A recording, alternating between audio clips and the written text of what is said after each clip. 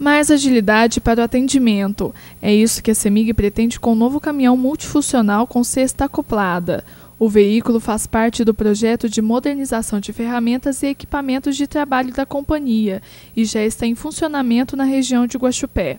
A função dele é agilizar o atendimento das, da, no restabelecimento de energia, né? ou seja, na manutenção de, de cabos partidos, de equipamentos da rede. Né? O equipamento vai permitir a manutenção da rede elétrica, como a troca de cabos e cruzetas. Oito cidades da região serão atendidas pelo veículo. Anteriormente, a CEMIG de Guaxupé dependia de veículos da CEMIG de Alfenas para fazer estes trabalhos. A cesta acoplada tem alcance de 10 metros de altura, o que permite a manutenção de cabos mais altos. Nove funcionários do escritório de Guaxupé estão aptos a trabalharem no carro. A companhia energética possui uma frota de nove veículos em Guaxupé.